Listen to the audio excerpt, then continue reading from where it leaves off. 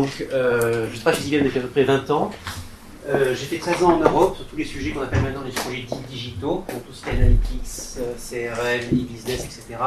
Avec un domaine de compétences de spécialisation qui est le domaine banque, finance et assurance. Mon domaine de mon cœur métier, avec en plus une spécialisation dans ce cœur métier sur la banque privée, tout ce qui est gestion patrimoniale. C'est pour ça que j'ai beaucoup travaillé à Londres, à Luxembourg, et, en Suisse, par définition, il y a beaucoup d'activités de travail banquier. Euh, ensuite, je suis parti pendant trois ans donc, en Asie du Sud-Est, à Singapour, où j'ai dirigé pour toute l'Asie du Sud-Est, donc tout sauf la Chine, toute la partie basse, l'activité analytics. Et c'est là où j'ai commencé à travailler sur des sujets d'IA, et c'était assez passionnant, parce qu'à l'époque, l'IA n'était pas encore un sujet industrialisé, entre guillemets, commercialisé, plutôt un sujet de R&D, ce qui m'intéressait, intellectuellement cité. Et donc, à ce moment j'ai commencé à, travailler avec l'IA chez les conclusions, notamment dans le domaine de la banque. Ces trois ans en Asie, IBM m'a demandé de partir cette fois aux États-Unis, donc cette fois à New York, je suis parti. Euh, dans la foulée, je je suis pas passé par Paris. Et euh, fondamentalement, ils m'ont demandé donc d'aider, euh, de faire partie de l'équipe qui a créé le Watson Group au niveau mondial. En fait, on est basé donc à Manhattan, à Astor Place, qui est en fait Union Square. Et en fait, notre headquarter Watson est là. et en fait, je travaille pendant deux ans dans ce headquarter pour créer Watson et le commercialiser, l'industrialiser. Ce qui est radicalement différent que de travailler avec un sujet de R&D. D'un côté, vous êtes vraiment dans la pure création et dans la pure découverte, des fois de jours de surprise, ça marche, ça marche pas. Après, ces questions-là doivent être tranchées dans une certaine mesure, parce que vous passez dans une optique d'opérationnalisation et de mise à l'échelle de l'IA pour des grands clients au niveau mondial. Donc ça suppose un mindset différent, une approche différente, qu'est-ce qui marche, qu'est-ce qui ne marche pas, quels sont les use cases, quelles sont les méthodes de travail, chez quel client on peut travailler, chez quel client on ne peut pas travailler et pourquoi. Donc ça suppose une approche beaucoup plus systémique qu'une approche de création pure. Et donc là c'était super sympa pendant deux ans, je me suis bien éclaté aux États-Unis. Suite à cela, euh, parce que je voyageais énormément, euh, je n'ai eu assez euh, de voyager à ce rythme-là à très haute fréquence, surtout des voyages très très loin. je suis rentré en France et depuis trois ans, je dirige toutes les activités liées, de près ou de loin, à l'IA, au blockchain, à l'IoT, à l'analytics et toute la partie transformation métier qui va avec. Et donc en fait, ça représente 600-700 collaborateurs, collaboratrices qui sont dédiés à ces domaines de compétences-là pour les projets de transformation qu'on mène en France. vous savez quasiment tout en méga synthèse. D'accord? Sujet du jour, l'IA. Je suis très open au sens où vous pouvez me poser toute question que vous souhaitez. Je suis là pour vous, vraiment. Donc, euh, s'il vous plaît, posez-moi vos questions au fur et à mesure. Ça m'évitera après faire une synthèse de Q&A. Donc, euh, au fur et à mesure, si, quelque chose vous choque, vous interpelle, sur lequel vous avez un avis différent, ben, super. Hein. Et si je peux apporter un éclairage, je l'apporterai. Et puis, si je ne l'apporte pas, ça permettra aux autres d'avoir aussi vos idées. Et j'espère de bâtir leur propre conviction sur le sujet du jour. On y va. Je parle assez vite, donc euh, je vais je, difficilement de ralentir, mais si vous le dites, je vais faire un effort.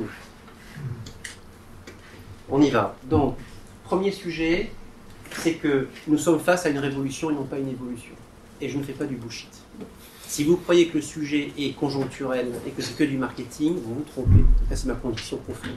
C'est un sujet qui est structurel et qui est un sujet qui part sur un cycle très long. Très très long. Il ne fait que commencer ceci.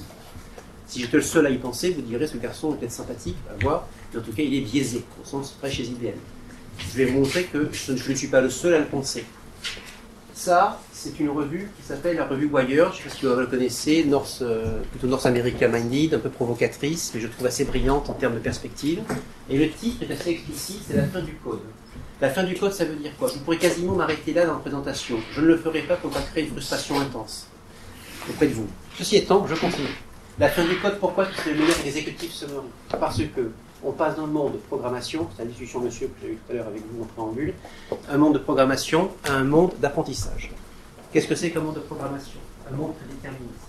Pour vous faire, il programme exécute la What if Donc, bref, c'est des règles. Très déterministes. A et B, j'arrive à une conclusion. Le monde où on va, le monde de l'IA, est un monde d'apprentissage. Des hommes et des femmes comme vous vont devoir passer du temps avec une machine pour lui apprendre quelque chose. J'ai bien dit des gens comme vous, même si vous n'y connaissez rien à l'informatique, ça n'a aucune importance maintenant. Parce que vous apprenez un système à raisonner, à penser d'une certaine manière pour aboutir à un résultat, qui n'est pas forcément un résultat déterminé par avance, puisque par définition, il peut être, extrêmement hétérogène le résultat. Ça sera un résultat probabiliste. Est-ce que vous me suivez jusqu'à maintenant? Ça, c'est un changement qui est majeur, un qui est en train de shifter. Deuxième sujet que je vais vous dire, aux États-Unis, vous savez qu'ils sont les rois de la classification. Ils classifient tout, y compris. Il y a une catégorisation qui s'appelle les Generic Purpose Technology. GPT, c'est ça? Purpose Technology. Les GTT, sont une catégorie, une classification dans laquelle vous rentrez avec une définition qui est vous êtes une technologie, un facteur qui change tout. Vous êtes quelque chose qui change tout. Système, écosystème, le système.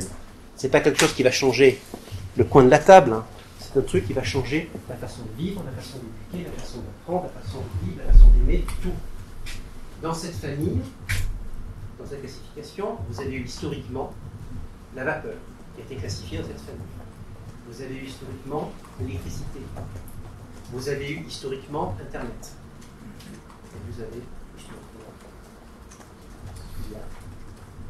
Donc, ce que je, je veux simplement objectiver les propos, ne supporte pas les, effets d'annonce ou les, ou les fake Donc, quand je vous dis tout à l'heure que nous sommes face à quelque chose qui est une révolution, un cycle long et structurel, j'essaie de vous apporter des éléments tangibles, objectifs, qui vous démontrent ce que je viens de vous dire. Donc, on est parti sur quelque chose qui va être extrêmement transformatif et qui va durer très longtemps, par contre avec des, visages très différents.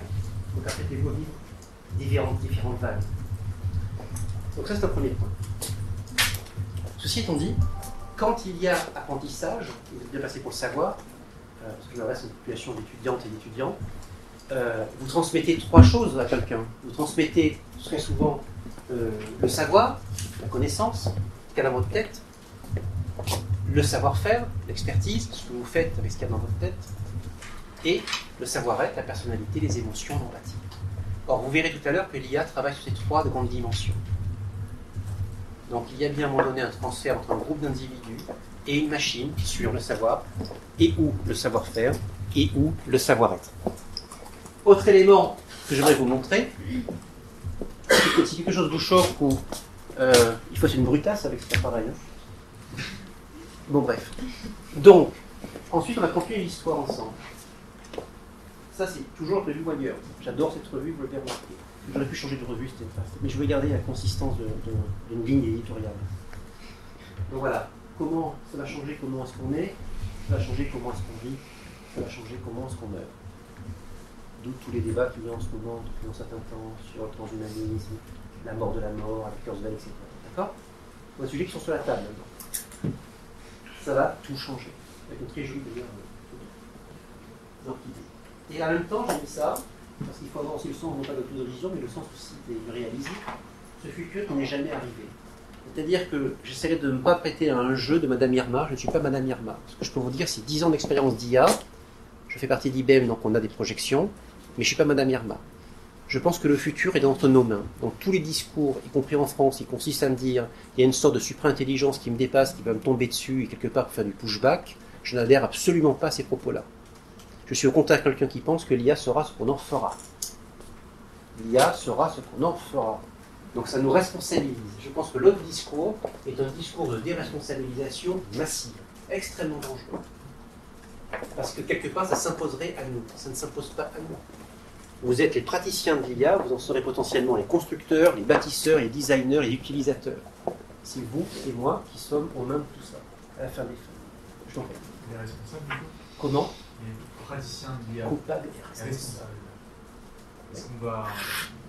Quand ceux qui vont créer l'IA, ceux qui vont la, la permettre. Euh, la fin du code, on ne parle plus de code. Moi, je suis provocateur de Ils sont responsables de ce qu'ils ont fait. Bien sûr et tu seras, tu seras responsable de l'utiliser ou pas?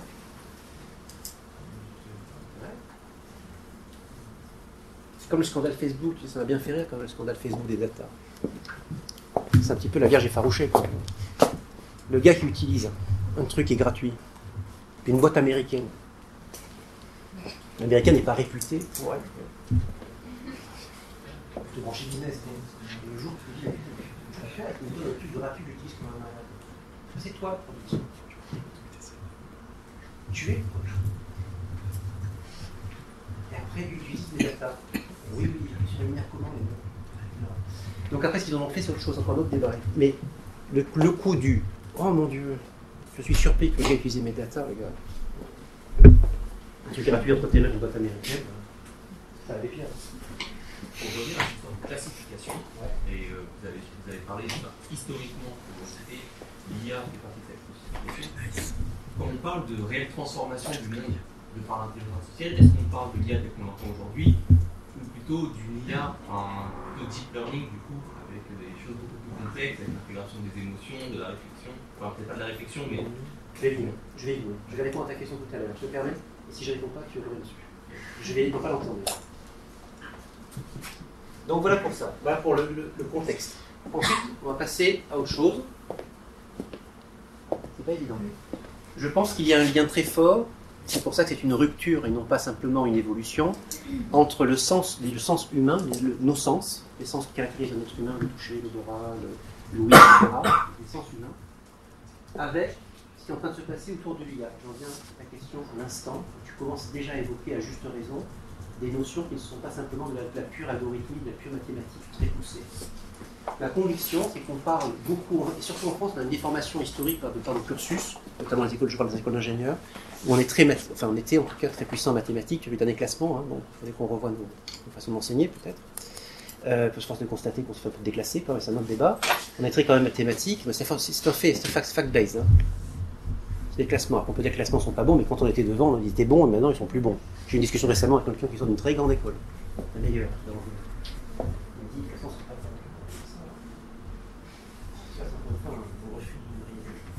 Mais c'est pas, pas ça le débat. Le débat, c'est que je pense qu'on fait une erreur quand on associe uniquement IA égale algorithme. Oui, l'IA, il y a des algorithmes. C'est une, une, une, c'est une réalité. Mais oui, l'IA fait appel et travaille sur les sens de l'être humain. Et l'IA travaille en l'occurrence sur six grands sens. Le langage, le langage, donc c'est la sémantique, la compréhension d'une phrase, la compréhension. L'être humain a une caractéristique majeure, je peux vous dire la même chose de 3000 manières différentes. Pourtant, ce que j'ai toujours voulu vous dire a toujours été la même chose. Je vais simplement varier mon, message, mon vocabulaire, ma tournure de la phrase, le contexte, en fonction de ce que je comprends de vous, de ce que j'attends de vous, dans quel contexte je suis. J'ai toujours attendu la même chose. Je vais simplement varier mon langage mon. Ça, ça s'appelle le langage. L'IA comprend l'intention quelle que soit la façon dont est formulée. C'est ce qu'on appelle la détection des intentions. C'est un terme que l'on très souvent, intent detection. Une fois qu'elle a compris l'intention, elle la catégorise. Une fois qu'elle la catégorise, elle agit. Premier point. Langage. La voix, les mots qui sortent de ma bouche, dans ce que vous entendez en ce moment, d'où les sorts de toutes les boxes à la maison, entre autres. Les voitures, les systèmes, euh, euh systèmes euh, audio dans, les voitures qui vous parlent, etc., les GPS, les machins, les trucs, dans les avions, dans les trains, de partout. Ça pénètre de partout, y compris dans vos domiciles, y compris sur vos portables, par définition. Donc langage, voix, la vue, la reconnaissance visuelle. Vous avez vu, tout à l'heure je reviendrai, vous avez vu la précision aujourd'hui de l'IA dans le système de reconnaissance visuelle. C'est juste incommensurable. Ça va reconnaître un mec sur une mobilette à 15 000 km, en plein désert. Et vous savez qui est sur la mobilette La marque de la mobilette. Euh, l'empathie, les émotions, la personnalité. Je pense à répondre à ta question tout à l'heure. L'empathie fait partie du périmètre de l'IA. On oublie trop souvent. Parce qu'on rattache souvent l'IA, je pense, à l'algorithme La gestion des connaissances. Ces systèmes se nourrissent de data structurées et non structurées. Donc c'est quelque part le corpus d'informations que je vais charger dans ces systèmes. Ces, systèmes ne sont pas magiques. Je répète, c'est pas Harry Potter. Ces systèmes ne sont pas magiques. S'ils ne sont pas nourris avec des data structurées et non structurées, vous n'en tirerez. Il y a deux jambes un système d'IA. Souvent, les gens n'en pensent qu'à une. Ils sont des obsédés de la data. La data est fondamentale, c'est vrai. Mais la deuxième patte, elle est souvent oubliée. La patte de la notion d'apprentissage. Quel est le processus d'apprentissage que je mets en place pour apprendre un système à faire quelque chose Sans cela, le, le, système est stupide. C'est comme, si je peux me permettre, toute chose égale par ailleurs. Un enfant qui suit un cursus, ou même vous qui suivez un cursus universitaire. D'accord? Il y a bien les deux. Il y a bien des gens qui font de la pédagogie vis-à-vis de vous, gens qui essaient d'en faire, et il y a bien à un moment donné une base de connaissances que vous essayez de comprendre, d'appréhender, d'ingérer. Ben. Il y a les deux. L'un sans l'autre ne vous pas au résultat de performance attendue par ce type de système. D'accord? Et enfin, dernier vecteur, je l'avais dit 6, le sixième, c'est le raisonnement. Et là, on touche enfin le périmètre de l'IA. Maintenant, j'en viens, et je vous donne des exemples précis pour vous montrer où est-ce qu'on en est, pour comprendre la maturité de là où nous en sommes. Si on prend ces six petites ailes, ce magnifique petit œil, il faudrait qu'on rajoute les termes au-dessus. Ce petit œil, c'est la reconnaissance visuelle. Sur 3000 clichés, c'est ça? Appuyé. Ouais, mais je fais exprès de ne pas. C'est la reconnaissance visuelle? Le premier? Parfait. On a pris 3000 clichés de grains de beauté. Certains sont, Dieu merci, sains, donc pas porteurs de lésions comme de cancer. Certains sont malheureusement porteurs d'une lésion can- cancéreuse. 3000 clichés. Photos haute définition. On a remis ces photos à un groupe de praticiens dermato-cancérologues. Combien ce groupe d'individus a reconnu statistiquement ce qui est sain de tas, ce qui est sain, ce qui ne l'est pas? Lancez-vous, de toute façon, on est entre nous. 70. Combien? 30% 70. 5 5% Putain, vous, êtes très, né- vous êtes très négatif par rapport à la performance de l'être humain quand même.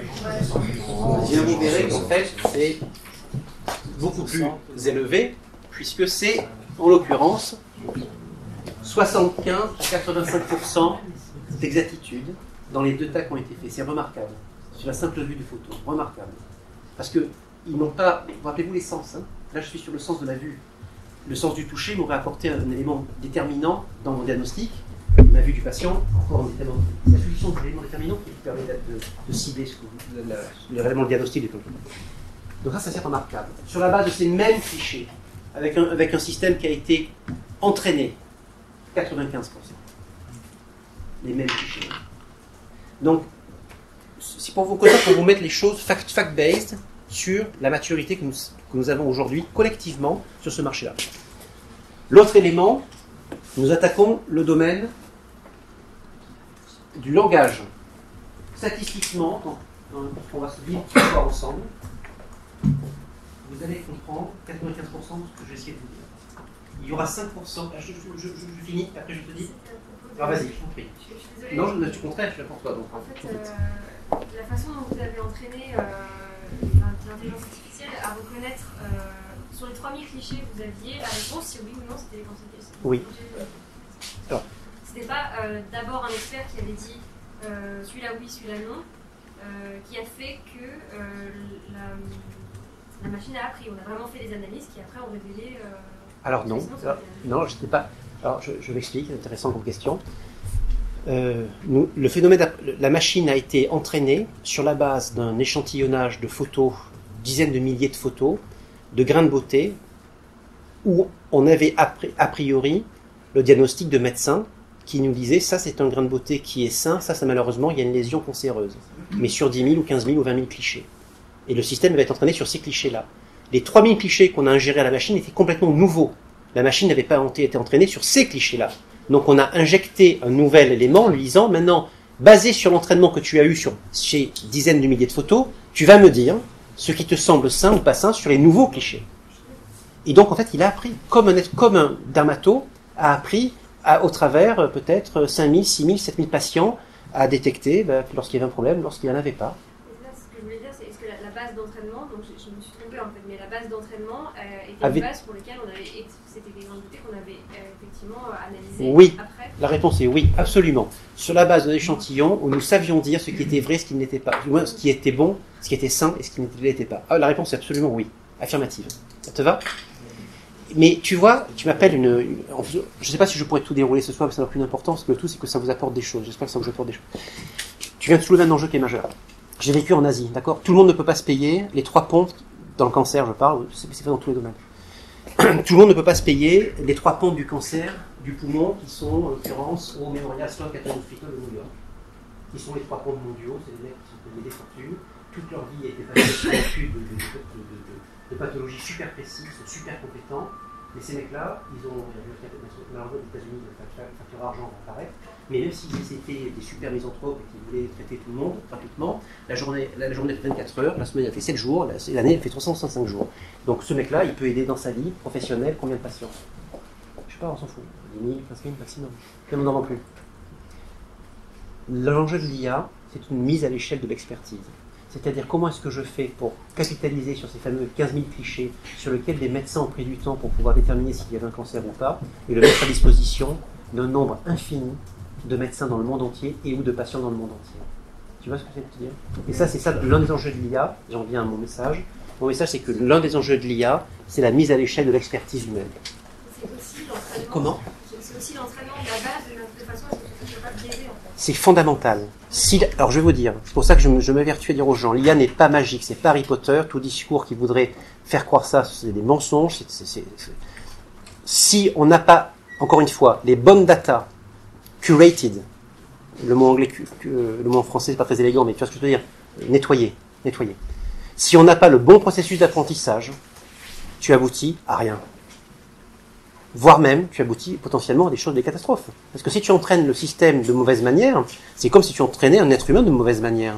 Et je peux te faire croire des choses qui ne sont pas vraies. Et tu vas les répéter, tu vas les amplifier. Pareil avec l'IA. Sauf que l'IA a un pouvoir de démultiplication bien plus important. Voilà. Donc la réponse est oui et oui. Mais je t'en prie. Donc, donc tout ce qu'on va se dire ce soir. Toi, tu veux poser une question J'ai une question là. Non, non, dire. Euh, moi, c'était par rapport justement au scandale euh, qui a été récemment publié par rapport à Watson Health. Ouais. Euh, comme quoi, justement, il y avait euh, pas mal de spécialistes qui entraînaient l'IA Ouais. sur des cas fictifs. Et du coup, qui. Enfin, en fait, c'était pas forcément des patients, donc je voulais savoir s'il y avait une, une régulation, enfin, si c'était justement faisable aujourd'hui d'entraîner l'IA sur des cas de patients réels. Parce qu'aujourd'hui, il y a pas mal finalement de, de dossiers qui sont assez privés, qui sont assez difficiles à exploiter euh, dans, dans le cas de la médecine. Oui. Et du coup, comment ça peut évoluer Alors, euh, sur ce secteur-là Alors, je relativise le, le scandale, non pas parce que c'est ma boîte, mais parce que c'est les faits. Euh, si c'était pas le cas, je dirais aussi froidement que je veux te dire ça. Et peut-être que je prendrais d'ailleurs d'autres décisions de partir, mais c'est pas le cas. Euh, c'était- enfin, il y a eu une, une- une très mauvaise information qui a été diffusée, qui était fausse. Les, et ça, ça rejoint ce que dit euh, je femme mademoiselle. Lorsque tu apprends un système, il faut lui apprendre les cas qui ne sont pas bons, les cas qui sont bons. Donc par définition, tu vas avoir des taux d'erreur qui vont être potentiellement importants dans les premiers cycles d'apprentissage, et ce pendant un certain temps. Et tu n'acceptes pas, tu peux faire des milliards. Tu vois, et donc malheureusement, cette information-là est ensuite transformée sur d'autres types de, communication. Je pense que c'est dommage, parce que c'est- pas vrai. Ceci étant dit, je mets ça de côté.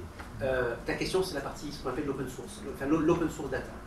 Euh, le, sujet que nous avons en Europe et particulièrement en France, mais il y a des bons côtés et des mauvais côtés, c'est comme toute situation, il y a des, il y a des points positifs et des points négatifs. C'est qu'en fait, nos data sont extrêmement protégées en France, notamment sur la partie médicale. Et donc, en fait, il n'y a pas de sharing de la data médicale. Chose qui est beaucoup moins vraie aux États-Unis, où tu peux acheter des sets de data médicaux. On a, d'ailleurs acheté des sets de, de- de radio des poumons pour détecter les cancers des poumons. On a pu racheter des sources de data de, anonymisées, hein, anonymisées. Mais on a pu acheter, accéder à ce type de data pour entraîner ce type de système. Parce que sans entraînement, il n'y aura pas de bons résultats. Je répète, c'est très clair là-dessus. Alors qu'en en Europe et en France, on a malheureusement un vrai sujet. Et tout à l'heure, avec vos collègues du premier groupe de travail, je, je- je fais partie d'un groupe de travail, euh, je travaille pour le, le comité de la, la coopération économique euh, européenne, et en l'occurrence, j'ai un chantier pour la Commission européenne, je travaille auprès d'une jeune femme qui dirige au niveau européen, pour la Commission européenne, l'ensemble des travaux autour de l'IA. Il y a trois groupes de travail dans, ce, dans cette commission. Moi, j'ai pris en charge la partie impact de l'IA sur le labor and skills, sur le marché du travail et les compétences. Il y a euh, un autre garçon qui a pris le le- l'impact sur les plateformes technologiques. Et il y a une jeune femme qui a pris l'impact sur la data. Et c'est son sujet. Ton sujet que tu viens d'évoquer, c'est son sujet. C'est comment faire en sorte de bâtir un cadre réglementaire européen qui permette de partager ce type d'informations, parce que sans cela, nous ne bâtirons pas une IA forte en Europe. Parce qu'on a une telle réglementation, de telles contraintes, que tu ne partages pas, tu ne partages pas. hein. Et du coup, pour l'instant, vous donnez des, des data fictifs. Non, Ah, des- on, achète des sets de data. Les radios sont des vraies radios, anonymisées, mais on achète des vraies radios. C'est pas des cas fictifs de, de cancer des poumons. hein. Ça marche. Ça marche, c'est des- Mais là, il y a un vrai sujet européen. hein. C'est là, et c'est là où tout l'enjeu est passionnant d'ailleurs. C'est, jusqu'où tu pousses la protection qui est nécessaire de- des individus, tu vois, des, boîtes, et jusqu'où tu t'arrêtes, parce que si tu t'arrêtes pas, tu, casses ce sujet-là. Ce sujet-là fonctionne différemment. Il suppose de l'information, il suppose de la data, il suppose de la bonne data. C'est très délicat. Euh, donc, donc, je reviens à mon propos. Euh, communication, donc tout ce qu'on va se dire ce soir, vous devriez comprendre 95% que je suis clair. Il y a 5% que vous ne, on va se, on va se, pas se comprendre. On va croire qu'on va se comprendre, mais on va pas se comprendre. Ce soir, 5% de ce que êtes tous les jours. Ce sera pas plus. Le- on a fait une même expérience avec un système d'IA et un groupe d'individus. On est arrivé au même taux à 5% et on était à 20% en 2013. En faisant du cross-check a posteriori de est-ce que le message qui avait été donné était le message qu'on voulait vraiment passer à la bonne, la bonne personne. Pour montrer la vitesse où ça va. Je continue. Là, c'est langage. Ensuite, on attaque la partie voix. Alors la voix, c'est impressionnant.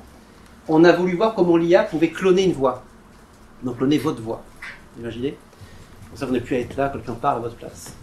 Et donc là, en l'occurrence, pour cloner une voix complètement et lui faire dire, avec une qualité extraordinaire, un message que vous souhaitez lui faire dire, ça prend 30 minutes. Le taux de succès de 95%, ou 95% des fois, les autres personnes ont cru que c'était la bonne personne qui leur parlait. Ce n'était pas la bonne personne, c'est une machine qui leur parlait. Et en l'occurrence, pour la petite histoire, et Clara confirmera ça, le cas a été fait avec un journaliste et la mère d'un journaliste. La mère, votre propre mère, que vous reconnaîtrez parmi tout le monde.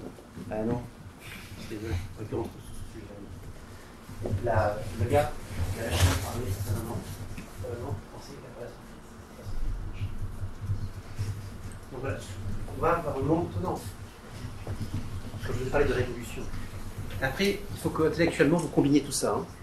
C'est que la, la vague, la révolution, elle ne vient pas d'un facteur à un moment donné très puissant, elle vient toujours d'une juxtaposition dans une unité de lieu et de temps de différents facteurs qui créent les conditions à un changement majeur. Tout ça est en train de converger. hein. L'autre élément, euh, le, le raisonnement complexe. On s'est prêté à une expérience intéressante, c'est-à-dire en fait, on a pris une compétition, de golf pendant une semaine et on a voulu effectivement euh, créer des, films qui résumaient les meilleurs moments, un petit peu le best-of de ces séances de, parties de golf.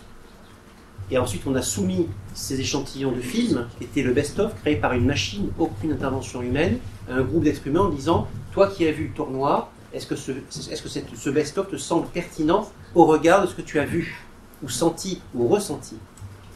92 à 68%, après on devient très précis, j'adore ces chiffres, ça me rassure. les chiffres.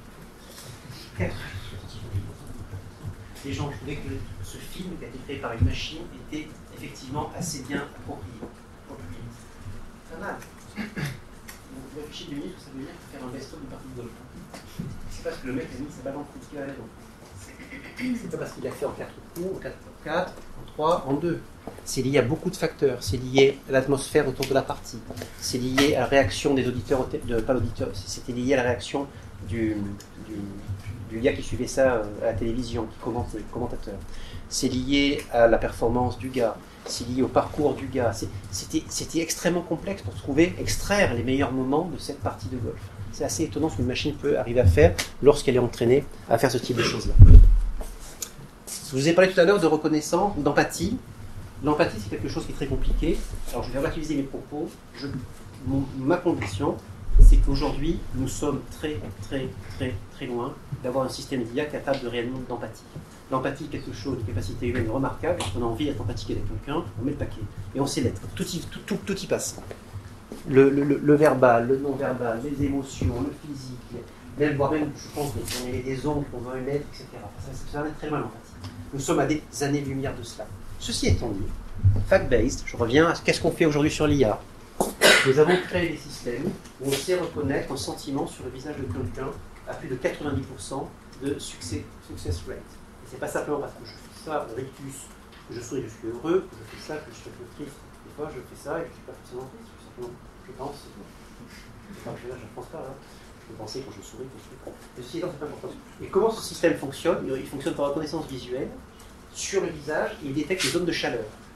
Les scientifiques, les scientifiques ont trouvé, ont prouvé, ont démontré que notamment nos émotions se traduisent par, entre autres, bien sûr des rictus euh, physiques, mais aussi par des zones de chaleur qui évoluent dans le visage. Et donc le système scanne avec une précision redoutable, et vous ne pouvez plus cacher vos sentiments, même votre mood. Il scanne votre visage constamment et puis il dit bah, est-ce que cette personne est plutôt triste, plutôt gay, plutôt pensif, plutôt neutre? C'est remarquable quand même.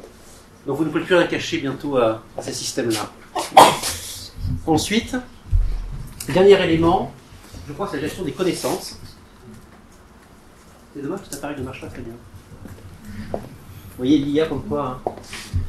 Et donc là, c'est un élément qui est intéressant. L'application, malheureusement, c'est une actualité en ce moment aux États-Unis, euh, immigration américaine, application de l'IA, donc c'est un outil qui émet oui ou non des visas, euh, en fonction de votre profil, de qui vous êtes, mais aussi également en fonction de la réglementation. Donc qu'est-ce qu'on a fait? On a ingéré au sein du système toute la réglementation d'immigration, qui est un sujet qui est changeant, qui n'est pas statique, qui est dynamique. Et au fur et à mesure, le système comprend les nouvelles règles et les applique en fonction des applicants, en fonction des, des droits et de la législation américaine en termes d'immigration, et bien sûr en termes de profil, votre profil. Application, 5 jours avant l'IA, 3 jours avec l'IA, 16 millions annu- annuellement économisés. J'ai choisi des exemples avec l'équipe très divers pour vous montrer là où est-ce qu'on en est. Voilà ce que c'est que le landscape de l'IA. Alors que tout le monde est un obsédé des chatbots, ou un obsédé des algorithmes, ou un obsédé de l'IA fort versus l'IA faible, et patati patati patata.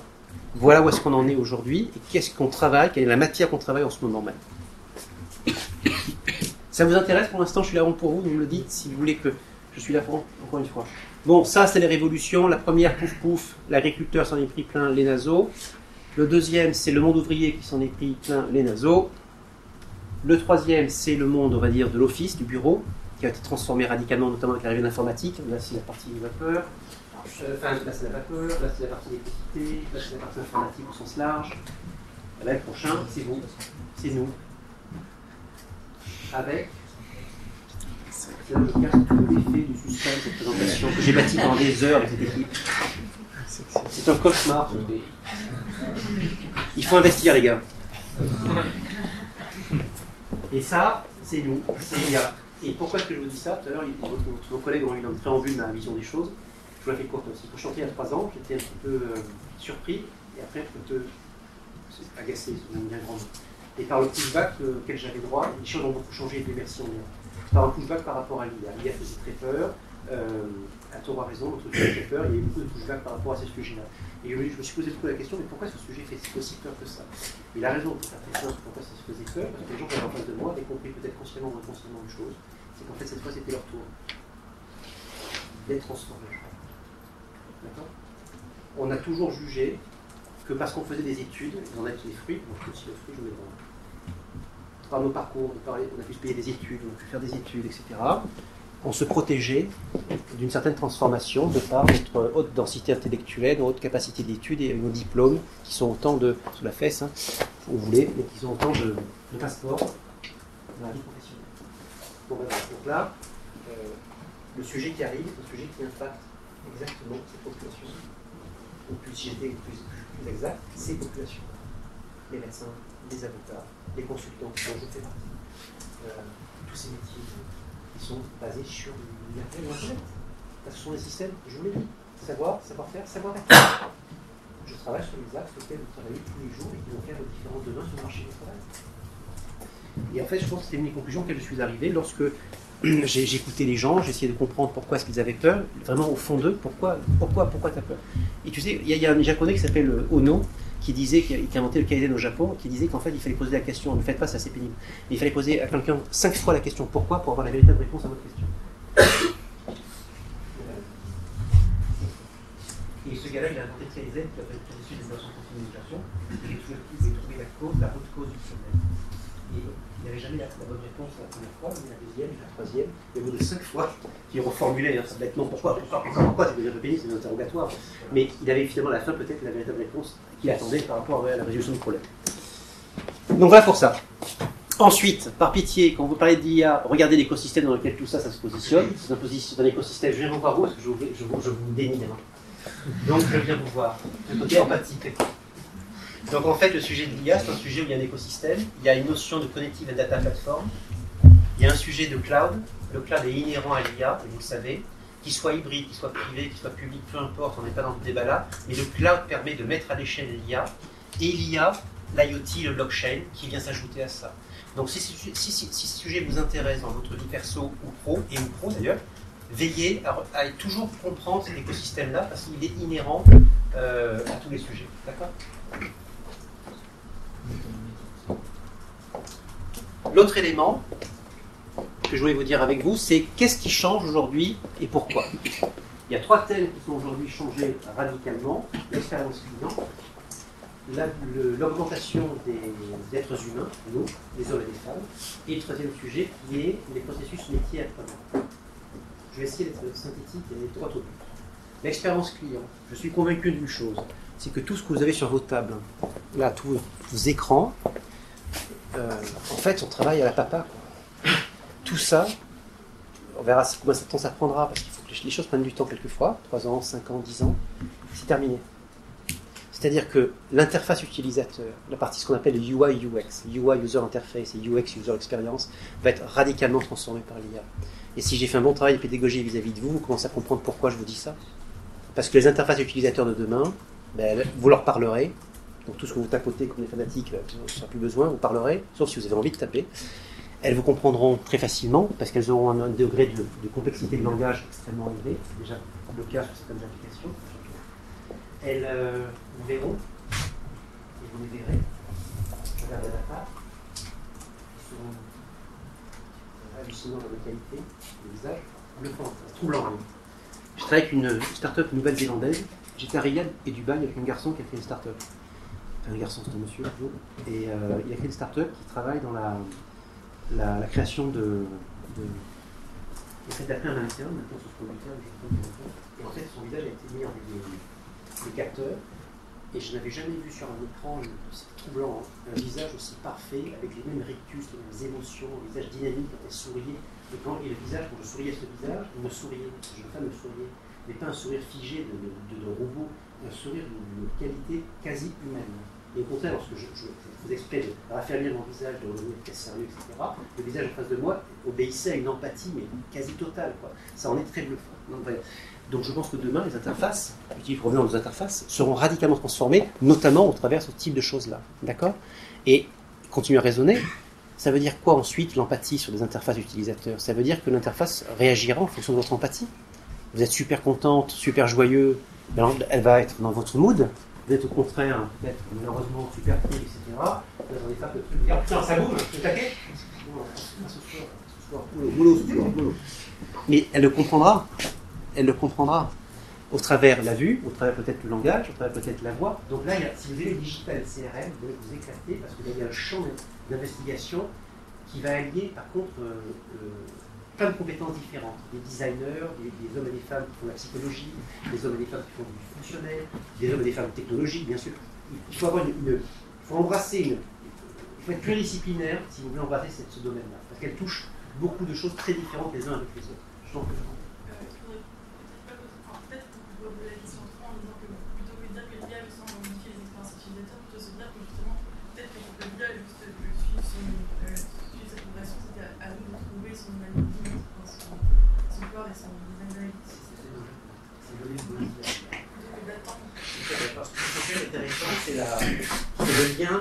l'IA et l'IoT. Et en fait, j'ai toujours dit depuis le départ, que je crois que ton terme, la modification, donner un corps, donner un corps à l'IA. C'est un suivant. Mais, mais c'est vrai, Après, peut-être je sais pas. Après, faut, voilà. Bref, donner un corps à l'IA, ça a des impacts. Hein. Euh, parce que ça, ça fait peur. Hein. Malheureusement ou heureusement, j'en sais rien. Mais donc voilà, voilà. Mais tu as raison. Et c'est pour ça que le lien, c'est pour ça que je m'étais permis tout à l'heure de vous montrer le lien entre l'IA, la data, le cloud et l'IoT, parce que tout est lié. Tout à l'heure, je vous montrerai l'exemple d'un petit corps, un petit euh, crocodile que des enfants ont dans des classes aux États-Unis pour euh, dialoguer avec lui, qui est AI Inside. Et le corps, le body de la modification, c'est ce petit euh, croco. Mais ça peut être autre chose, je m'en fous, ça peut être ça. Ça peut être ça, ça peut être ton collier, ton bracelet, ça peut être ça. Tout. Vous êtes déjà bardé de capteurs. Le travail est déjà moitié fait. Hein, ça ne compte pas, les... ça, pas ça, ça, mesure votre tension, votre temps. C'est hallucinant. La médecine va être radicalement changée. Vous serez même en, avance de phase si vous êtes en train de faire un infarctus et si, malheureusement, tout à l'heure, je vais avoir un problème. Parce que ça va tout mesurer. Ça va mesurer mon temps réel, ça va le traquer, ça va rapprocher à des patterns. Bon, bref, on continue. Donc, l'expérience client, j'ai suffisamment parlé de ça. Deux, ça c'est important, c'est remettre l'être humain au centre de tout. Le paradoxe que j'ai toujours eu en France, c'est ce côté l'IA va remplacer les hommes et les femmes. Je n'y crois pas.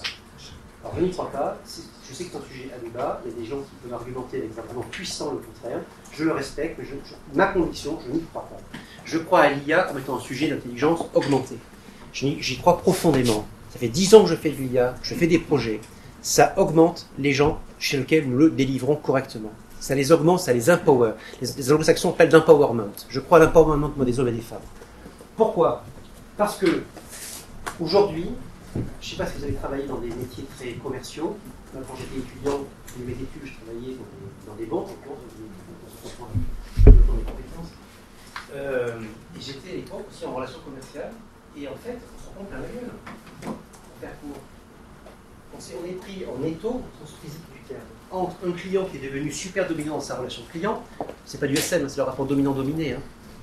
Sauf que, avant, c'était la banque qui était dominante, sauf que maintenant, c'est le client qui est dominant. Vous êtes devenu dominant dans la relation client, vous le savez tous et toutes. En 30 secondes, vous connaissez sur vos sites internet favoris toutes les offres qu'il y a sur le marché, tous les taux, tous les argumentaires, toutes les garanties. Vous arrivez chez votre gars quand vous allez le voir, qu'il y a un autre problème, vous ne voyez plus. Vous lui dites, écoute, bon, tu me passes l'histoire commerciale, tu me passes tout ton, ton baratin, 3,2%. Oui, non. J'ai pas de délégation. Au revoir. Enfin, je caricature pas là. Donc, ça c'est la pression faciale, si je peux dire, en face. La pression que se prend ces gens-là, si je puis dire, par derrière, c'est la pression de leur propre boîte. Plus d'objectifs commerciaux, des portefeuilles de produits et de services qui sont tous les jours de Dieu fait plus en plus importants. L'omniscience n'existe pas. D'accord? Donc en fait, on soumet des hommes et des femmes à une pression qui est colossale entre les clients qui sont ce qu'ils sont, et qui attendent un degré d'expertise très pointu, et des pressions internes qui sont ce qu'elles sont. Comment peut-on remettre les hommes et les femmes au centre de tout ça et leur redonner enfin une autonomie? Je pense que l'IA peut faire partie de la panoplie des moyens. C'est pas le seul, mais l'IA peut faire partie des moyens qu'on met à disposition des hommes et des femmes pour leur redonner une place dans cette relation. Et donc de desserrer cette équipe.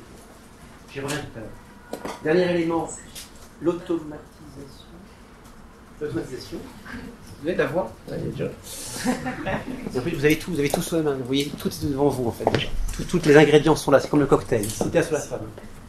Après, c'est comment on fait le cocktail. c'est. Ça, c'est- ça, c'est l'usine. L'usine d'avant, l'usine de maintenant. L'usine d'avant, regardez la photo, c'est intéressant cette photo. Je sais pas si vous voyez, je vais, je vais, je vais venir vous voir. vous. La photo d'avant. Là, vous avez l'ouvrier qui, le robot est derrière, le gros robot rouge. Il y a une vitre de protection entre l'homme, en l'occurrence son produit terme, et la machine. Parce que la machine peut lui trouver, le transpercer de part en part s'il y avait, malheureusement, si le gars vient, va dans son champ d'action. L'usine de demain, il n'y a plus de vitre de protection. Le gars, il a un robot, un arbre articulé, il lui apprend à faire quelque chose, et le robot va apprendre au fur et à mesure de l'activité. Partenariat homme-machine. Ça s'appelle la cobotique, le rapprochement entre la cognitive et la robotique. On ne parle plus de robotique, on parle de cobotique. L'alliance de l'IA avec la robotisation. On attaque maintenant les exemples par un rapidos. Je vous l'ai dit, une intelligence, plusieurs canaux. Donc là, vous avez toute la problématique pour ceux, qui feront des activités dans le digital, dans le conseil, etc. Est-ce que je choisis plusieurs plateformes d'IA Est-ce que j'en choisis qu'une et pourquoi? Si vous êtes multi-fournisseur, vous arriverez de fait à une gestion de la complexité forte. Je ne dis pas qu'elle est bien ou pas bien, c'est vos décisions. Puis simplement, apprêtez-vous à gérer la complexité. C'est comme si vous mettiez plusieurs cerveaux au sein même du même. On a tous des opinions différentes. Il faut les gérer. C'est pareil. Euh, ça, c'est les canaux. Donc là, ça va, mon petit croco, il est là. Ça va impacter tous les canaux, tous les devices vont tous être touchés, tous. Et tous vos lieux de vie vont être touchés. Dans votre voiture, dans votre métro, dans votre appartement, dans votre entreprise. Voilà, la totale. Autre élément. Ça, attention, ça, ça- ça- là, Flavien et Clara sont très fiers parce que c'est eux qui l'ont fait. Je rends toujours César ce qui est à César. Alors attention, s'il vous plaît, appréciez le job. Ça a pris des heures. Flavien, tu me dis si je le fais bien. La première pression vient du client, c'est ce que j'évoquais tout à l'heure. Un artiste. Le Van Gogh du. Et Clara.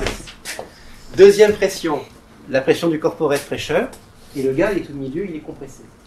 Et enfin, vous allez voir l'arrivée de l'IA, qui devrait arriver dans pas longtemps sur cette machine qui bien fonctionner. Un vrai cauchemar, cette machine. Mais je, vous savez quoi, comme cadeau de- en termes de parrain, je vous en faire une. Ça sera mon cadeau de, du parrainage.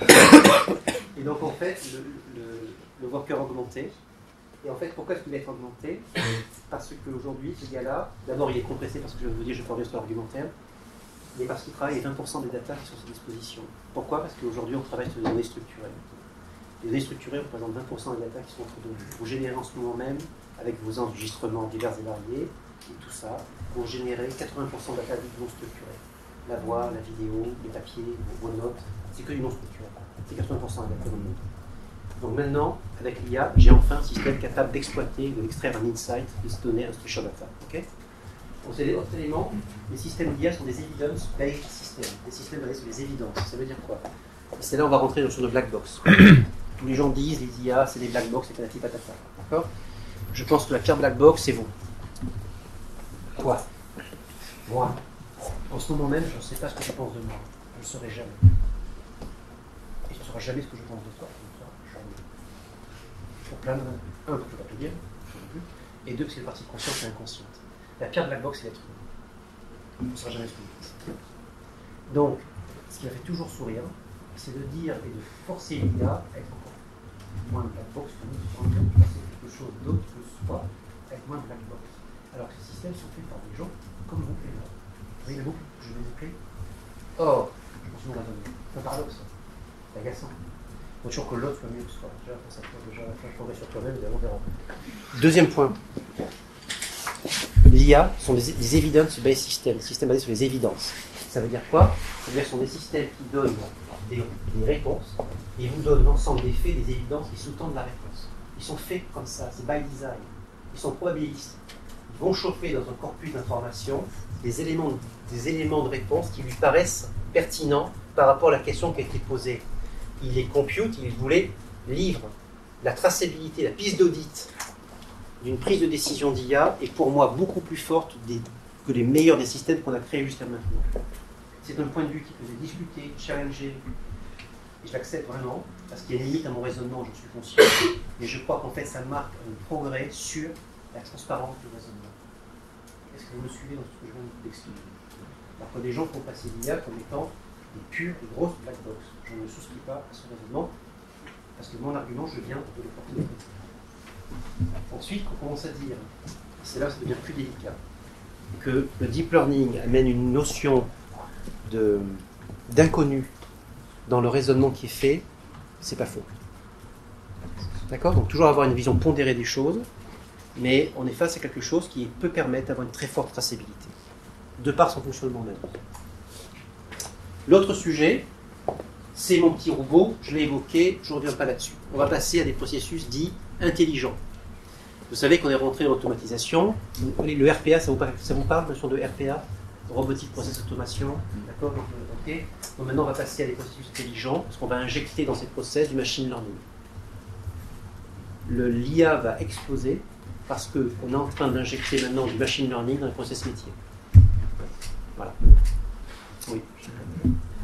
Vous avez présenté tout ce que vous savez qui améliore notre monde. Euh, Améliorer, ça qui change. Améliorer son jugement de valeur.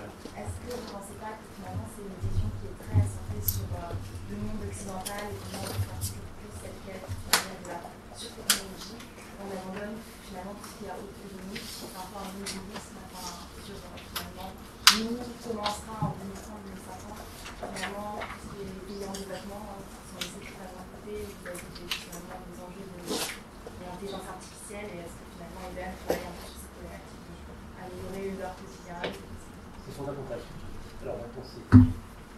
L'exemple que je dis tout à l'heure, c'est exactement pour moi. Ah, c'est je sais pas c'est. Donc, je reprends ce protocole est très important. On a une responsabilité fondamentale qu'on assume, nous, IBM. Nous sommes l'un des 3-4 acteurs dans le monde qui sommes à la fois quelqu'un, un acteur de l'IA au sens où nous faisons, nous construisons, nous l'appliquons, nous l'accompagnons. Beaucoup d'acteurs ne font que du conseil sur ces choses-là. Donc, il faut tout pour faire un monde. Donc notre responsabilité à nous, IBM, il y a- trois acteurs, Google, IBM, Amazon, ouais, Facebook, mettons-les dedans. Même si je vais, même si je vais aller dans une autre catégorie, peut-être à tort. Mais les gros acteurs de plateforme aujourd'hui sont plutôt ceux que je viens d'identifier. Mais Facebook est, aussi un acteur à sa manière de plateforme. Maintenant que c'est la plateforme, c'est pas l'utilisation. Et donc, on a une responsabilité qui est majeure. J'ai vécu, je te l'ai dit, à Singapour pendant trois ans. Autour de Singapour, Singapour est un îlot parmi des pays qui sont certains euh, en voie de, développement. Regarde ça comme ça évidemment. D'accord? J'ai visité tous ces pays, le Laos, le Cambodge, le Birmanie, le Vietnam, la Thaïlande, le Deux exemples. Qui peut payer C'est un problème de maintenant. Parce que les urgences vont t'amener, je ne souhaite pas, euh, en 5 minutes, en moins de 5 minutes, parce que tu as un vrai malaise, tu as amené à l'hosto, qui peut se payer un système médecin. Et le mec qui va être disponible pour toi est compétent pour toi. Il y a combien de populations dans le monde qui peuvent se payer ça? On est 7 milliards sur. 1 milliard. 1 sur 7. Vacciné. Statistique. Comment est-ce que tu résous le problème de faire en sorte que ce mec qui t'accouche peut, à ce qu'il a à faire un système d'IA, apprendre à ce système soit déployé demain en Laos au Cambodge, au Vietnam, pour faire bénéficier à des milliers de gens comme toi, aussi le droit de vivre, de sa compétence, son lien. D'où le projet de, de la santé. Quand on a créé il y a 5-6 ans IBM Watson Health, en fait une unité qui est dédiée au monde de la santé. On a choisi le plus grand sujet, le plus complexe sujet qui est le monde du cancer, dans certaines typologies de cancer, pour essayer de porter et de démultiplier cette expertise qui est détenue par très peu de gens au plus grand nombre. Et les hôpitaux qui sont équipés sont des pays comme la Thaïlande, qui sont équipés du, du Watson pour bénéficier de cette expertise qui est détenue par très peu de gens. Nous sommes sur ce enjeu-là. Je continue. J'ai eu la chance, moi, c'est- ça qui est l'anime en fait. Plaisante. Euh, euh, L'autre sujet. Euh, ah, je je vais faire du c'est excellent. Euh, c'était quoi l'autre sujet Oui, le AI for Good. Le sujet, le AI for Good. Le, oui, et, et, et, et le Women in AI. Oh, tiens, je vais faire venir une jeune femme que j'adore, franco-iranienne. Euh, Rachel Lia, extraordinaire. Brillantissime. Elle va vous parler des femmes dans l'IA, un vrai sujet. Et plus globalement des femmes dans la, dans la. Euh, ceci étant, je- ça s'appelle Moujane. Tu te rappelleras, Moujane on, a... Donc c'est très bien. Donc, j'en viens à mon idée. C'est quoi mon idée? Je, je sur quoi là? Oui, AI for Good Donc, il y a- je- j'y vais, on. Donc, il y a un truc aux États-Unis qui s'appelle le X-Prize. Est-ce que vous connaissez le X-Prize? J'espère que oui, quand même. Vous ne connaissez pas les gars. Bon, faut sortir un peu hein, pour que je sache. Et le X-Prize est une compétition nord-américaine très connue qui en fait, euh, qui en fait, euh, euh, il y a des gens comme Elon Musk, des gens comme euh, SpaceX, etc.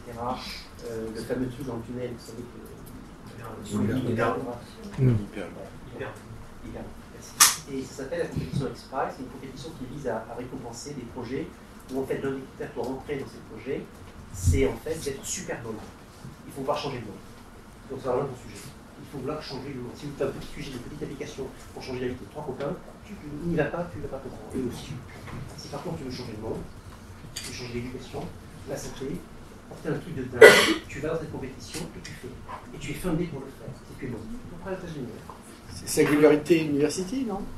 Qui fait ça, non? Il y, a, il y a un lien avec Singularité Universitaire. La réponse est oui. Parce que la marraine de, la marraine de Oui. la promo sortante euh, a fait Singularité University. Oui, il y a un lien. Mais je ne la résumerai pas qu'à ça. Je, je continue. Je peux m'excuser. Et dans cette compétition X-Prize, tu as un composant AI, comme tu as d'autres composants. hein.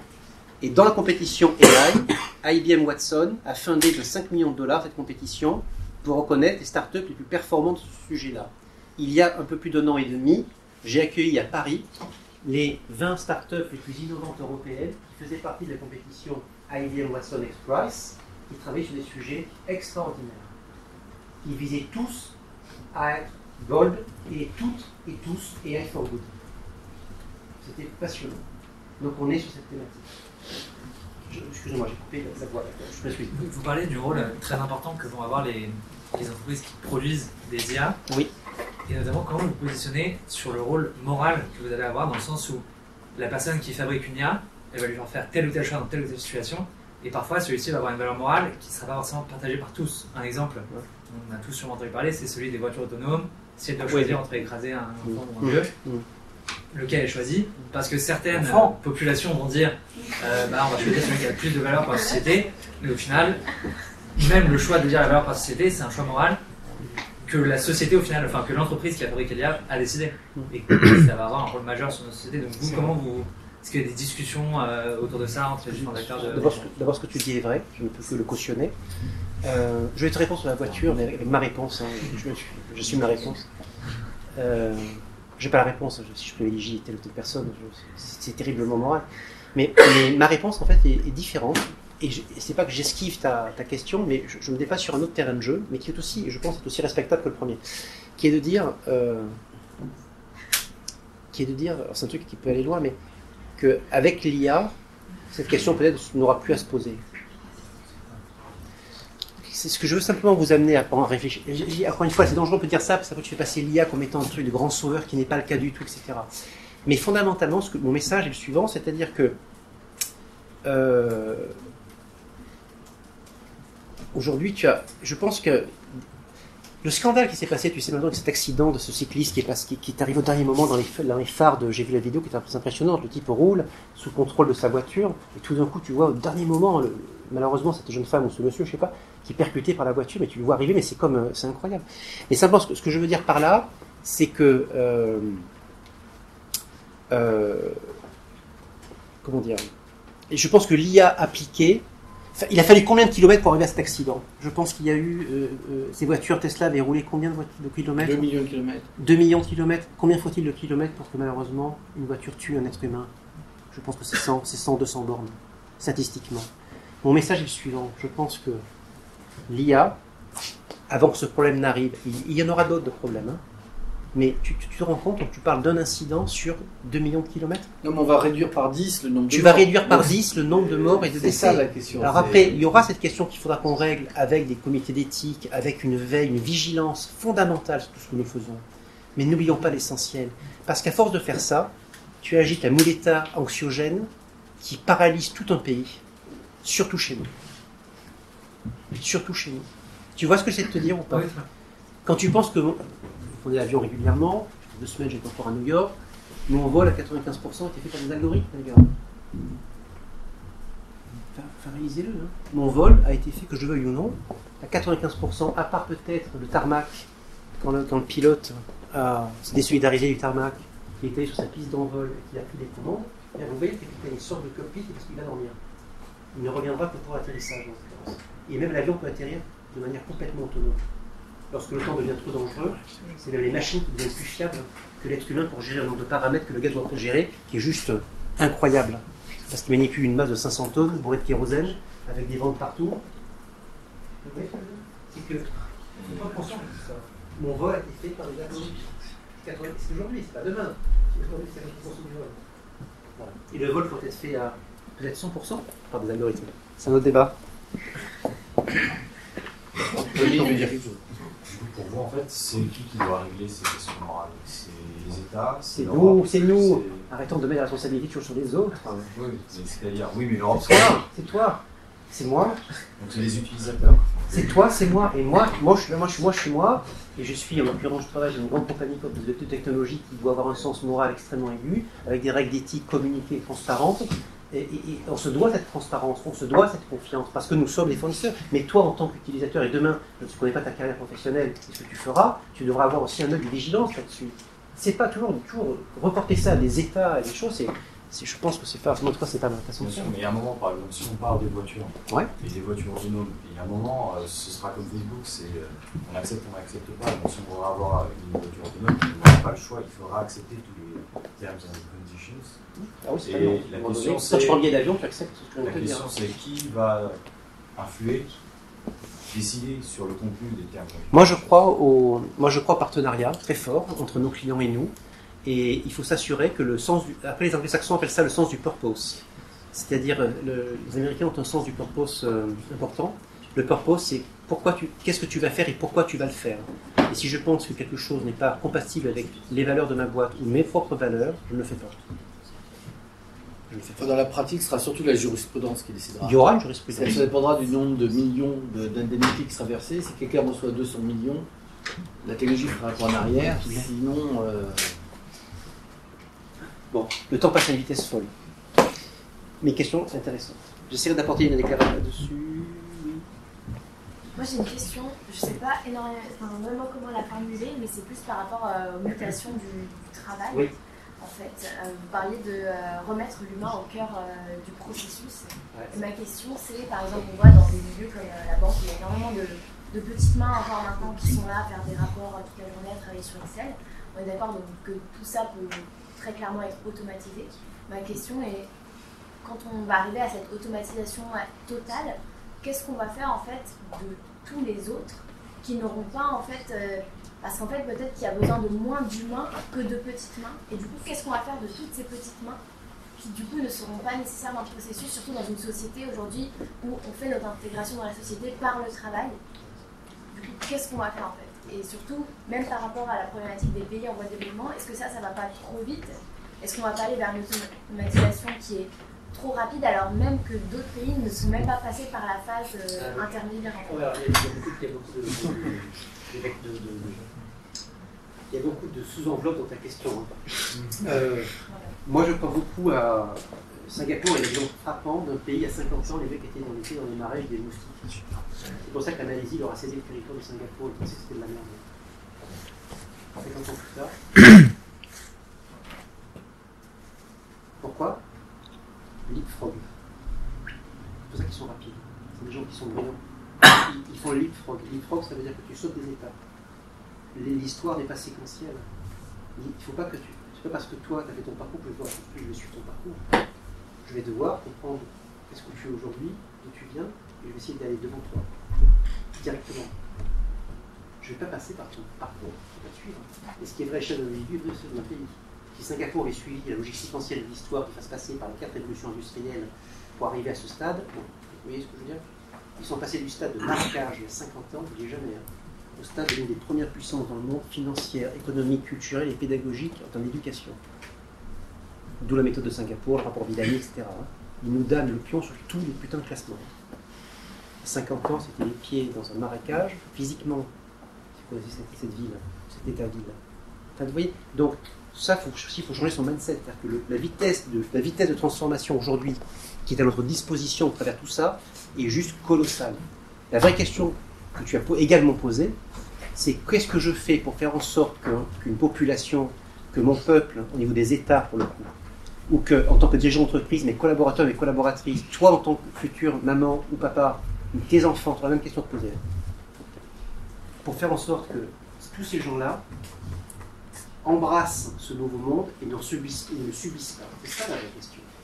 Et là, la réponse que je vais vous faire, parce que le temps passe à une vitesse folle, si je vous invite à regarder sur Google une vidéo de M. Jacques Ma, qui est un homme extraordinaire, et qui était à Davos en mars 2018, et qui a été interrogé par euh, journaliste sur le système d'éducation occidental, etc., et plus globalement le système d'éducation, où il dit en substance qu'il est quand même incroyable qu'un système d'éducation aujourd'hui, soi-disant élitiste, porte sur la, connaissance, et moi je vais rajouter le calcul. S'il y a bien deux sujets sur lesquels la machine pulvérise l'homme, et c'est historique, c'est même pas lié à l'IA, c'est bien le sujet de la connaissance et du calcul.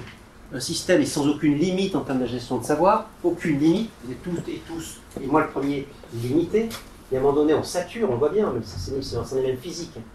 Et au niveau de la calcul, à part, à euh, 2 plus 2, dès que je vous demande une équation, vous allez sauter sur un putain d'appareil pour faire le calcul avec le portable. Dans une Excel, les macros. Putain, quel est votre rôle là? Taper des chiffres dans une cellule? C'est déjà ça. hein.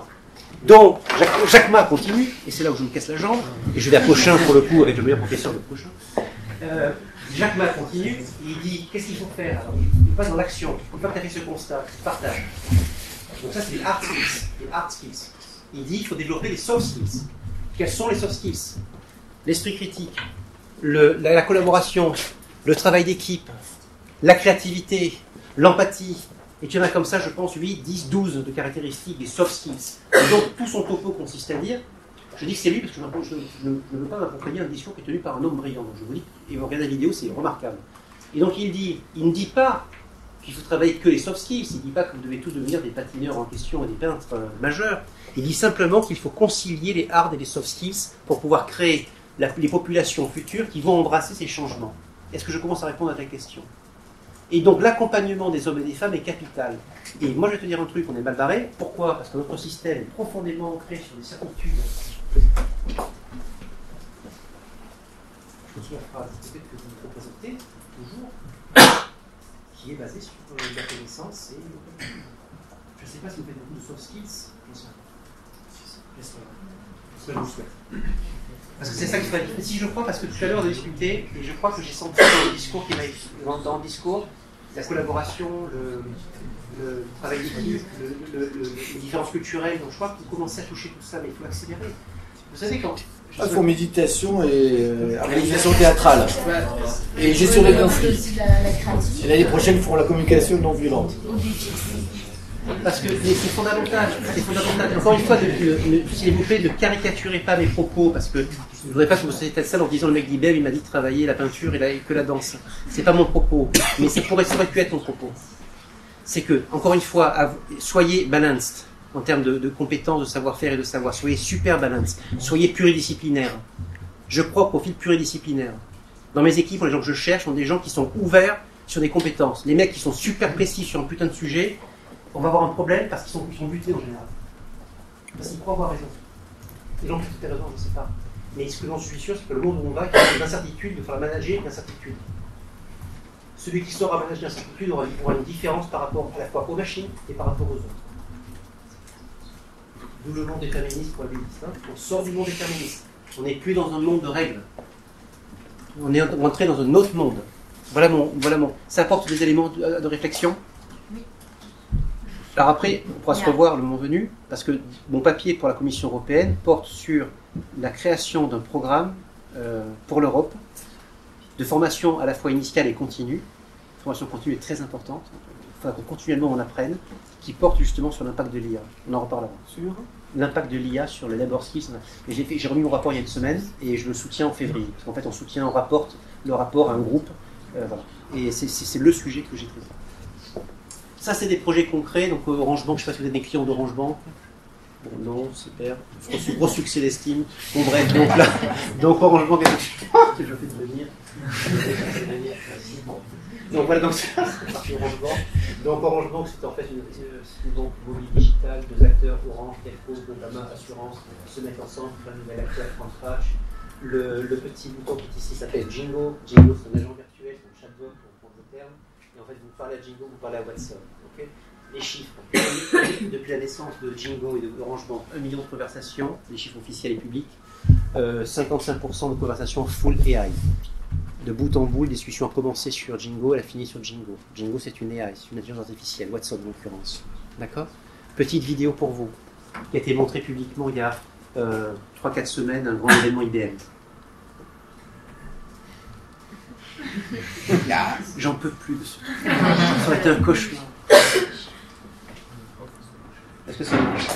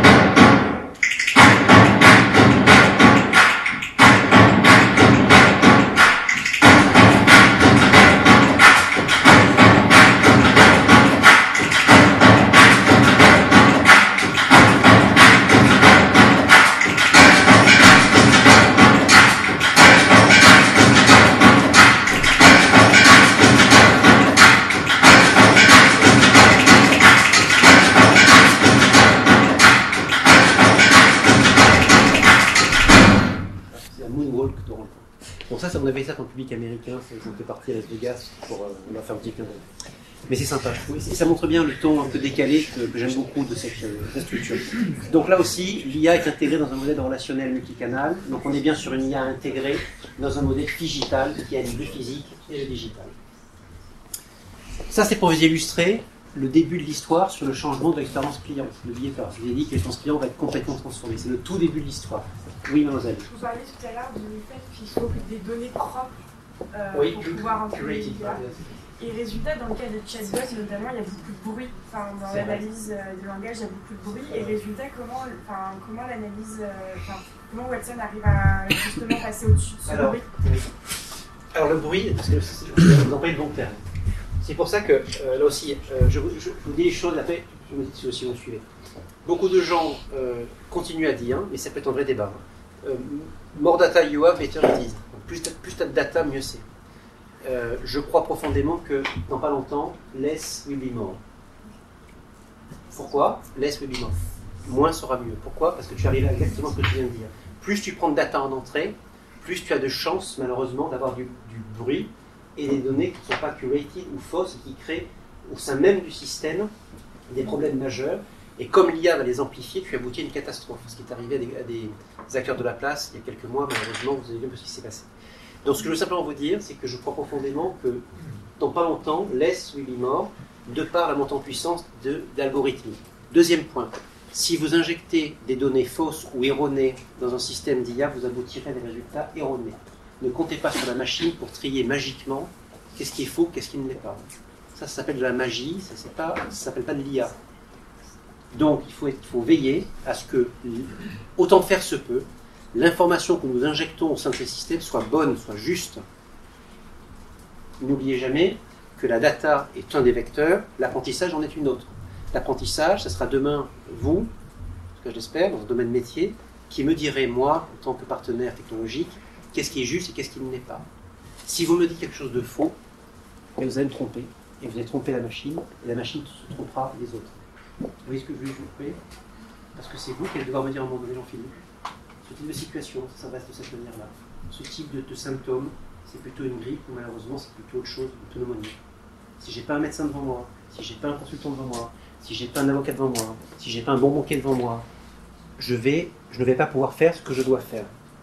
Ça, c'est les les, les fondamentaux. Et ça, il faut, prendre, bien en prendre conscience. Il n'y a pas de magie dans tout le travail que nous faisons autour de l'IA. Par contre, il y a une puissance d'amplification qui est extrêmement forte et de mise à l'échelle de l'expertise. Mettre ça en Thaïlande, ou en Afrique, où vous voulez. J'ai répondu à votre question, mademoiselle, ou pas complètement? Pas complètement, mais- Ah, Non, allez-y, je suis là pour ça. sur les 500, enfin, ce que je comprends de la- Et donc, oui, excusez-moi, les dialogues? Oui, Alors pour les les, pour les dialogues, dialogues, le problème est un peu différent, c'est pour ça que j'ai un petit peu passé à côté de la question, parce que pour les dialogues, le, le système d'IA sont des systèmes qui managent plutôt bien la détection d'intention, leur catégorisation et l'enchaînement d'un dialogue. Et ils vont même jusqu'à pousser la désambiguation, c'est-à-dire que comme nous, si je ne comprends pas votre question, je vais procéder naturellement, je vais vous poser une autre question que je viens de faire l'instant. Pour désambiguer votre question qui me paraissait potentiellement ambiguë, ou alors que je l'ai oubliée. Le système va faire la même chose, il va poser une question pour bien comprendre votre question. Et s'il ne comprend toujours pas la question, là il va passer dans un autre mode et potentiellement vous passez à un être humain pour ne pas vous agacer parce que une fois vous répétez, deux fois peut-être, trois fois vous le ferez pas. Vous fermez l'application. Par exemple, il y avait des fautes de d'orthographe, ça peut poser des. Aucun problème. On sait gérer. Même maintenant, on sait gérer les émoticônes. On a appris à Watson à, comprendre certains émoticônes. Après, il y a des, il y a des- il y a des combinatoires d'émoticônes qui sont un peu complexes. Je vous passe les Il nous reste, je crois, 5 minutes.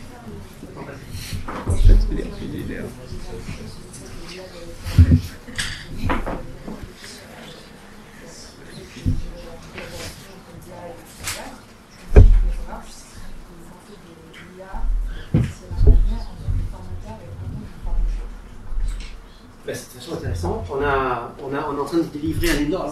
Plusieurs niveaux de réponse que je peux te faire, mais je vais faire un niveau, niveau réel aujourd'hui, qu'on est en train de faire. Même si je pense que les, les potentialités sont énormes l'information. Énormes. Euh, on, a, est en train de délivrer un énorme projet euh, où en fait on utilise l'IA pour apprendre à des centaines de milliers, c'est- c'est l'échelle du projet, d'utilisateurs d'utilisatrices, pour leur apprendre à- à manipuler en fait une application. C'est-à-dire que au lieu d'être que ça prenne des mois et des mois et des mois de formation, de cours, de machin, de tutos, de tout ce que tu veux, l'IA regarde ce que tu fais, donc, euh, corrige éventuellement ce que tu fais, tu peux lui poser une question, dire je suis bloqué à tel endroit, elle va te conseiller de te débloquer et t'apprendre à comment utiliser. Elle va te former. Et c'est l'IA qui va le faire. Pourquoi? Parce qu'on a formé cette IA à t'apprendre à utiliser correctement l'application en question. Et quelque part, tu, tu as, tu as, c'est comme si tu avais un coach à côté de toi, c'est à côté de toi en ce moment même, en disant, Toi, regarde, t'en es où, qu'est-ce que tu fais Et elle va te former, elle va t'apprendre. Oui. Euh, parce qu'en fait, là, du coup, répondez Et ça, c'est maintenant. Du point de vue de, de l'utilisateur, Oui. et moi, je voudrais savoir du point de vue du travailleur. Ouais. Si, euh, justement, il y a une place pour former les travailleurs. Et bien là, je pense que les travailleurs travaillent avec l'IA au jour le jour, ce moment même, moment de chez ça. Il y a son IA sur son poste. Il lui apprend quelque chose. C'est pas ta question, c'est quoi la question Non, parce qu'en fait, on en a énormément parlé de l'IA en collaboration. Oui. Ouais. En fait, ce que je voulais savoir, c'est vraiment euh, l'IA a une tâche qui va en formateur. Déjà, qui euh, qui- une tâche que je vais faire, je ne pas optimiser mon travail, mais vraiment, travail en formation. Alors, alors, alors, alors, je vous donne un autre exemple, c'est ça qui va répondre. On a fait une, expérimentation qui s'appelle euh, le débatteur, en anglais debater. En fait, euh, Watson débat avec toi comme on de le faire en ce moment. Et donc, quelque part, pour participer à ta propre formation, tu peux poser des points de vue différents. À toi, après, de faire ton, propre arbitre. Et c'est vachement utile pour notamment les avocats qui, plaident parce qu'en fait, on a fait euh, aux États-Unis, à Yorktown, un laboratoire, énorme labo à Yorktown, qui est à New York. Et il y a, le débatteur, il a été formé pour aborder des sujets extrêmement clivants. Par exemple, on a fait un sujet qui est super clivant, on a fait un sujet clivant, qui est le sujet est-ce que les jeux vidéo sont positifs pour le cerveau des enfants? Donc tu as autant de gens qui vont pouvoir t'expliquer par A plus B que c'est vachement positif, et d'autres gens qui vont te dire ça te- ça t'abrutit littéralement. La vérité est certainement au milieu, j'en sais rien. Mais en tout cas, ce qui est sûr, c'est que tu as deux points de vue très forts, en général, qui est assez clivant. Watson, tu injectes la question, il va fonctionner sur un corpus énorme, potentiellement qui ne pourrait pas Wikipédia. Il te sort deux argumentaires d'une rationalité, d'une précision, qui va te démontrer qu'effectivement les jeux vidéo sont très positifs le développement cérébral des enfants. Il va te servir le même argumentaire pour te démontrer fact-based que potentiellement c'est extrêmement euh, délicat ou dangereux pour le développement cérébral des enfants. Et donc tu vois que ce type d'outils, on n'est pas forcément préparé encore à les avoir entre les mains c'est que tu as un système, une machine, qui va te proposer deux points de vue extrêmement rationnels, basés sur des faits que tu peux accéder, qui vont te démontrer A et qui vont te démontrer B, noir et blanc. Ça sera à toi, d'où le propos de Jacquemin en disant développer votre esprit critique, etc., la collaboration, de faire ton propre point de vue par rapport au sujet en question. Imagine cet outil ou un avocat qui plaide à charge ou à décharge par rapport à un case. On sait qu'un case peut être vu à décharge ou à charge. Tout dépend de ton angle de vue ta capacité à défendre le dossier sur le contenu sur la forme. Je suis, tu vois, donc ça peut aller très très loin. Donc on va vraiment rentrer dans une nouvelle ère. Je vais peut-être terminer, euh, je ne sais pas sur quoi d'ailleurs. Euh, peut-être parce que le message de fin, j'avais un tas de choses à vous montrer aussi. Euh, dernière chose, c'est. Ouais, non, ça c'est un petit peu faible. Je vais parler simplement de ça. Ça c'est intéressant également. J'espère que le reste est intéressant, mais ça, ça m'intéresse aussi. C'est la, la confiance. Vous avez, vous avez flirté avec le sujet depuis le départ un petit peu, mais pour l'instant vous n'êtes pas trop enfoncé. Je ne sais pas si c'est par politesse ou par. euh, Mais le sujet de l'éthique, de la confiance, de la transparence. Euh, L'IA et les biais sont deux sujets, c'est les deux faces d'une seule et même pièce. Dire, quelqu'un- si quelqu'un vous dit dans l'IA il n'y a pas de biais, il vous ment. Il y a fo- fondamentalement pas- des biais parce qu'il a été fait, il est utilisé, il est supervisé par des hommes et des femmes, nous avons tous des putains de biais. Bon, alors, euh, je, je, je j'ai des biais, je le sais, je l'acknowledge. Et vous en avez tous des biais, et toutes. Donc l'IA, oui, a des biais. La question, le problème de l'IA, c'est qu'elle va potentiellement amplifier ces biais. Ça, c'est un problème. D'accord? Donc, on est en train de mettre en place des solutions qui visent à identifier les biais, les qualifier, savoir d'où ils viennent, et les corriger, autant faire se peut. C'est l'annonce qu'on a faite qui s'appelle AI Open Scale il y a trois semaines, tout ça dans la presse, etc. Donc je vous laisse, si vous je vous laisse lire. Mais il y a un seul point qu'il ne faut jamais que vous oubliez, c'est le côté humain. Ce groupe d'hommes blancs, en costume, comment? Ils sont pas tous blancs? Oui, mais ça, ça ne dénote pas la richesse. Il n'y a que des hommes. Ça, c'est Ce que tu remarques? tu as raison. C'est factuel. Mais entre nous, c'est quand même pas pour penser la société. Voilà, il y a un problème. Ah non. Donc, tout point de vue d'ailleurs. Euh, vestimentaire, la couleur, de, la couleur de la peau, les races, euh, les, le sexe, etc., etc. Et en plus, ils, sont en plus boire toute la même Non. Mais ça, aucune machine ne corrigera. C'est-à-dire que si vous ne veillez pas, si nous ne. Tu parlais de responsabilité. Si nous ne veillons pas collectivement dans nos projets à faire en sorte que les hommes et les femmes qui entraînent ce type de système, qui les supervisent et qui les font, d'où l'importance de Woman in il faut qu'on se batte pour qu'il y ait ça. Et on arrivera à des systèmes par définition biaisés. Parce qu'ils vont être créés par des gens qui se côtoient, qui qui se ressemblent. L'IA doit être un système qui reflète, autant faire se peut, une diversité de gens pour qu'elle soit reflète la richesse de points de vue par rapport à un sujet donné. Et ça, c'est pas la machine, c'est nous qui devons y veiller. Facile à dire, plus difficile, croyez-moi, à faire, à tout point de vue.